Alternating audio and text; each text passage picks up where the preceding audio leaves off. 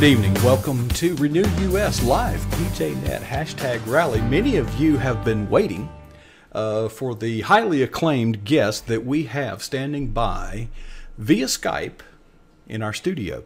But if you think you've been waiting where he is at, it is 2:30 in the morning.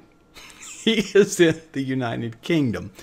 Um, folks, before I introduce him, let me take a moment to just give God uh, credit and as well as Sunbelt Girl.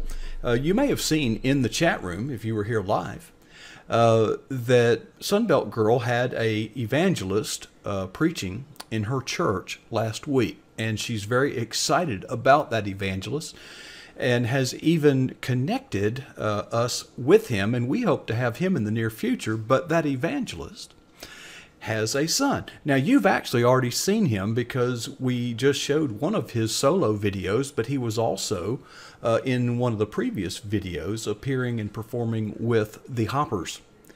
Now, I the world would say that this is coincidental, and eh, it could be, but I would prefer to think that it is providential because uh, our mission here uh, in Renew US and virtually everything that is done uh, here at PJNet is to solve the spiritual condition, the spiritual problem in our country.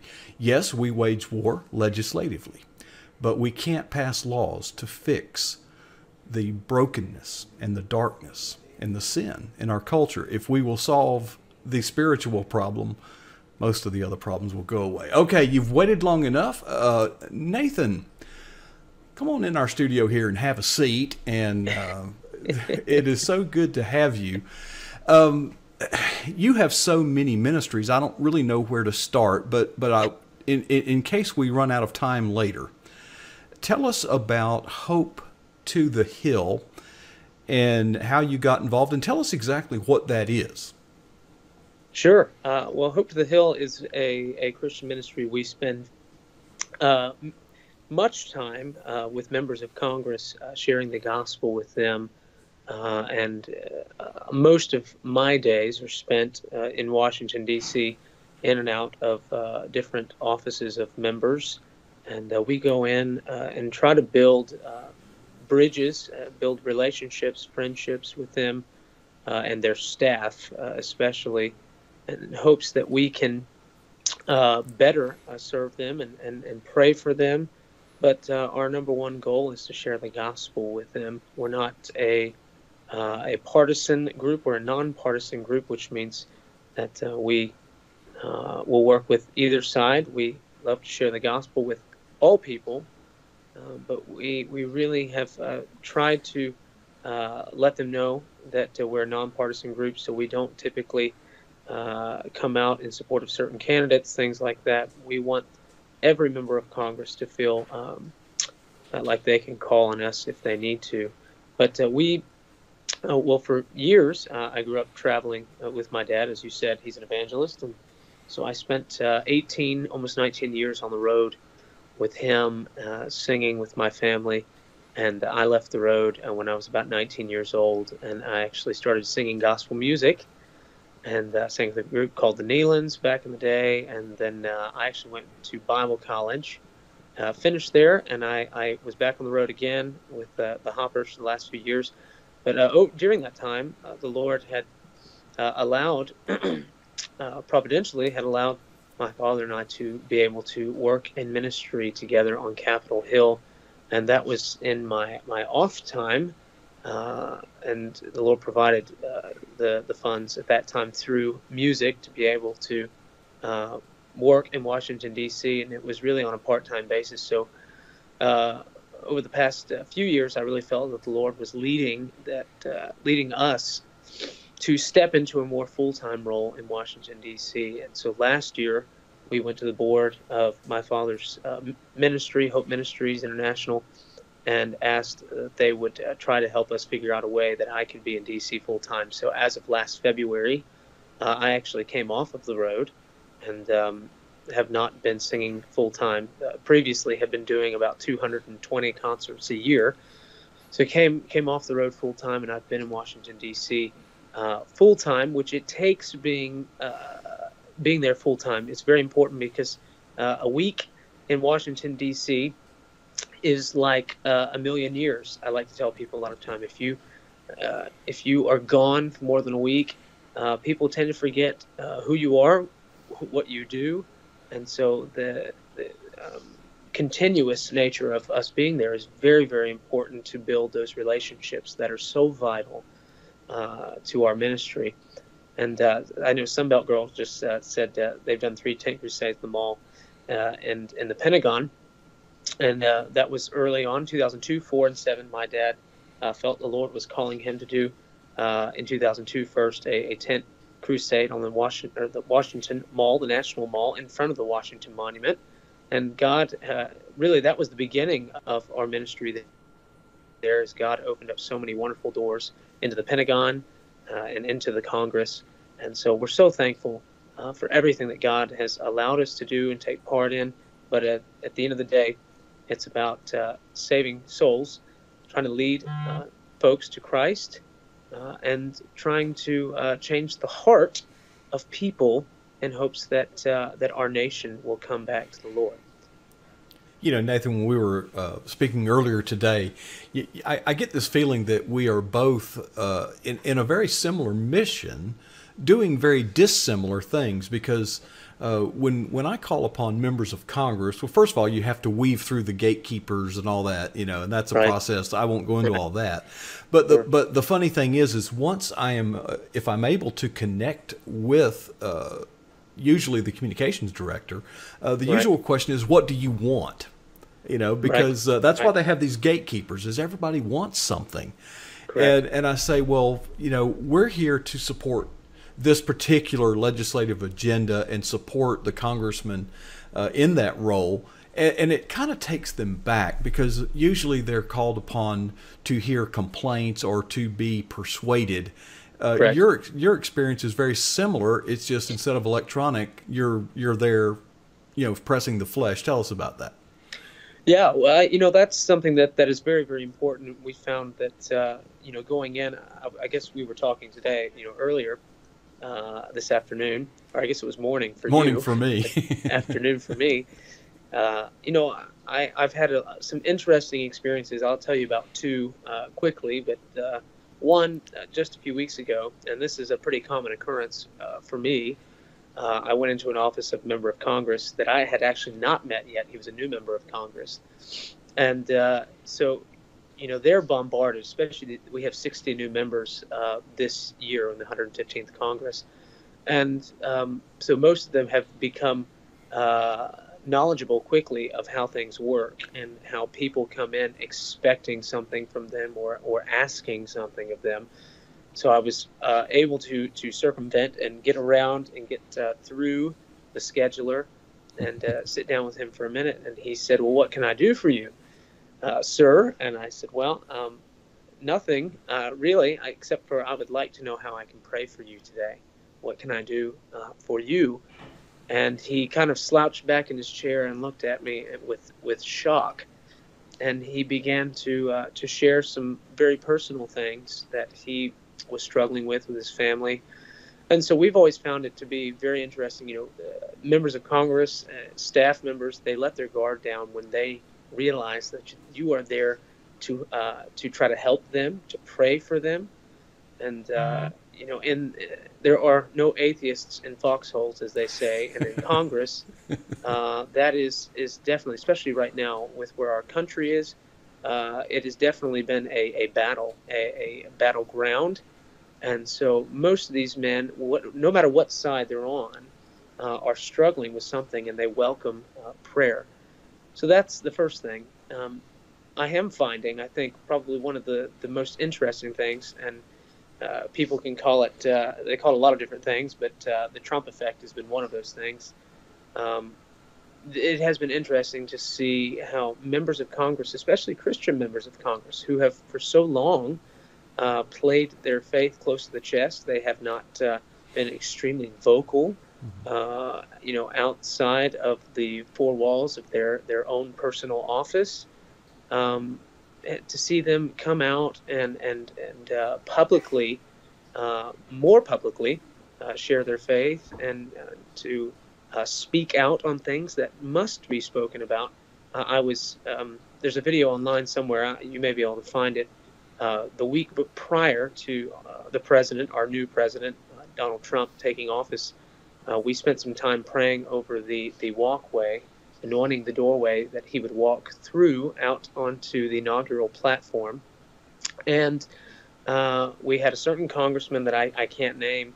Uh, he asked to remain nameless, but uh, we called him, and he gladly, gladly uh, took us to the place where the president would walk through, and uh, the the when we got to that that spot, it was covered because uh, it was just a few days prior to the inauguration. It was uh, covered with police officers, and, and the officers told us we couldn't get near the door. We couldn't even walk within ten feet of the door. And the congressman said, "Well, you know what? We uh, I'm going to let them pray there. I told them they could. And the uh, officer said, oh, I absolutely cannot let you uh, walk past this point. And uh, I saw something very interesting. The congressman, who was a very short man, uh, walked up to the, the burly officer and got in his face. They were chest to chest. And, uh, and he, he was poking his chest out the officer and he was looking up at the officer and he was whispering something to him. I still don't know what it was he said to him and he was pushing the officer, walking towards him, pushing him back against the wall. And the officer finally said, "Fine, you win, Congressman. Uh, you can go," and and to the doorway. And uh, that congressman, uh, you know, uh, really put uh, himself on the line for us to be able to go and pray in that very spot. And it was a really, really special uh, moment to be able to pray. Where the president, just a few days later, I watched. I was in at the front uh, of the audience out in front of the Capitol watching as he walked through that doorway that we had just prayed for. Um, so was, that was really neat. But the, the most encouraging part for me was after that, the congressman said, I would really like to take you up to uh, the Congressional Prayer Chapel for a few moments. And we ended up spending almost an hour in there. And he sat there uh, and, and shared some things with us, some exciting things. And uh, but I, I asked him, you know, how can we pray for you today? And he, he named a few things. And as he was naming the things he wanted us to pray for, he was pulling a small New Testament out of his back pocket and he uh, held it up. He said, "You know what? This this is what gets me uh, through the days here in Washington D.C." He said, I, "I truly do need prayer for wisdom." I said, "Well, can we pray for you right now?" And he said, Absolutely. And he stood up out of the chair, and we all started to stand up because I thought we were going to stand up, maybe hold hands and pray. But he stood up and uh, he did something very, very encouraging to me. He, he laid down almost completely flat on the floor and, uh, and, and prostrate in front of the Lord. And we laid our hands on him and prayed over him. And that was something that I had never seen before. It was one of those moments, you know, that you, you'll never forget as long as you live to have a U.S. congressman who uh, was so in love with the Lord and so um, uh, disconcerted for our nation that he would lay and prostrate in front of the Lord, begging uh, for mercy for our, our great land. So I am encouraged, and so many others. Uh, we're all very encouraged at what God is doing on Capitol Hill. But the things uh, that I tell people we, we must have is that we pray for our members of Congress. We let them know that we're praying for them no matter what side of the aisle that they are on, uh, that we encourage them uh, where we can encourage them, and that we would pray for them consistently because uh, we know that uh, the Lord holds the heart of the king in his hand, and so he can turn the hearts of men whichever way that he chooses to do so. Um, but we, we ask that, that uh, you would pray for us, for our ministry, and uh, God is doing miraculous things. I firmly believe that we're right on the edge, the precipice of a, a third great awakening. And so I, am just really encouraged to see what God is doing. Nathan, I'm, uh, I'm, I'm almost speechless. I, you are an answer to prayer. Okay, you are our ambassador in the very halls of the United States Congress, and and I just want to let you know that that you what you just described is exactly what we have been praying for, what we are trying to do, and, and we want to to throw any and every support that we can behind not you personally, it's your mission, it's your calling, it's the work of the Lord. And I am encouraged. And you know, it's been a long time since I have said that. and well, I am just very encouraged. Nathan, you are a, a warrior on the front lines of, of, the spiritual battle that's taking place, being played out among other places, but Washington D.C. Well, I, you know, I told you today. I, I firmly believe. I, have been reading the story of of, uh, of, Jonah and Nineveh just recently again, and um, I, I, am encouraged. And I, my prayer is this: is that uh, as a nation, just like in uh, the great city of Nineveh, uh, the Bible says that from the king to the lowest man, uh, they repented, and uh, that was a, a sign of national repentance from the, the greatest to the lowest. And so my prayer uh, has been that we would have a similar thing happen in the United States of America. And I truly believe that God has granted us some space, uh, even having Mike Pence as vice president. He's a, a, godly man, a wonderful man, and has been the recipient of the, uh, the Christian Statesmanship Award from the Center for Christian Statesmanship in Washington, um, I truly believe that, that God is granting us some space. So my prayer, and I hope that your prayer is in the coming days, that we would have a national repentance from the top to the very bottom. And, and that is something that I, I firmly, firmly believe uh, will happen. Nathan, um, I, I, wish we had an hour. First of all, thank you for staying up so late uh, oh, to, to, to share with us uh, I, I know that we are all encouraged, and we want to be an encouragement to you. And I hope that we can continue this dialogue. It's my understanding that your father will be joining you in England next week. Yeah, well, so uh, some people have been asking, why are you not in Washington, D.C. right now? There's a lot going on. I was up until about a week and a half ago, and uh, I, I, am in England right now. Um, I've had some meetings, work, Washington, D.C. related meetings, where we uh, are trying to expand in the collegiate uh, area in Oxford, uh, England here, and I have some colleagues that that are um, in Oxford. Uh, one specifically that's a, a, headmaster at one of the colleges at Oxford. So I spent some time here, and then I've been singing some. And my dad will be flying over um, this coming Tuesday, and uh, he and I will be uh, ministering together at a youth conference um, here in Birmingham, England, uh, starting the the following uh, Wednesday, or the well, the Wednesday after he, the day after he gets into England, actually. So, um, but it's it's going to be a really really uh, wonderful wonderful time. It's uh, there are students from all over Europe that fly in for this conference, and we'll probably have about 150 uh, college age uh, young people and you you have to understand only two percent, and they they think maybe even less than that of the English population even attend church, mm. uh, and you know whether it's really a, a Bible believing uh, church could be considerably mm. less than that. So when you look at that uh, that scale, there are not many uh, people that that are a part of a, a Bible believing church in the country of England or in Europe. So 150 young people is like uh, you know, the amount of people that go to Passion Conference, you know, in Atlanta. Uh, that that's a great deal of young people for this country, and so we're encouraged as this conference has grown. These kids love the Lord, and we're trying to do our best to encourage them. It's something that I've been a part of for, for years now. Um, and so that's why I'm here right now, and I will be heading back to DC. I was uh, a part of um, the president's announcement um, the actually the day, the night before I left to come here uh, for Judge Gorsuch, and um, so that that will be uh, continuing on mm-hmm. the uh, process, confirmation process, when I get back, and um, obviously is going on right now as the judge is, is meeting with members of Congress. So this is a very interesting time. If you don't know any any of the historical aspect of how that works, as the when a, a, judge is nominated to potentially be a justice, he goes around and meets with different members of Congress, and that can take some time. Mm-hmm. Uh, but what I'm praying in that case is that we have a swift confirmation for this judge. I mean, people on both sides of the aisle uh, agree that he is an honorable man, that he, he loves the law, and uh, but also I, I, believe he's a, a Christian guy. So um, I'm really excited to see what what God uh, does there, and that would be a huge, huge.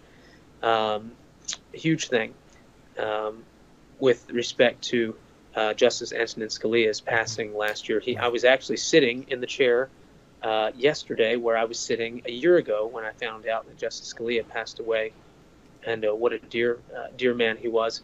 So it's uh, the judge, Judge Gorsuch, has great shoes to fill, mm-hmm. Uh, the shoes of Justice Scalia, and we are encouraged at what the president has done so far, as far as choosing Judge Gorsuch, and so we ask you to continue to pray that uh, that God would clear a path uh, for His uh, confirmation, that it would be quickly, so that we can get uh, back to getting things done, the daily routine.